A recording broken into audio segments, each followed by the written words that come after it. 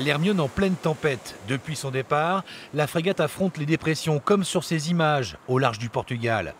À cette époque-là, euh, il y a un anticyclone sur les Açores, mais euh, aujourd'hui où on navigue, euh, il n'est plus là, il est parti. Les dépressions, elles peuvent, elles peuvent circuler comme elles veulent, donc c'est un peu ça qui nous, qui nous met dans le doute. Une navigation éreintante pour les gabiers lorsqu'il faut manœuvrer et rester sur le pont 24 heures sur 24. La deuxième dépression aille beaucoup plus vite que prévu, donc il faut qu'on se dépêche de faire un maximum de, de route pour se rapprocher de notre destination avant qu'elle nous arrive dessus.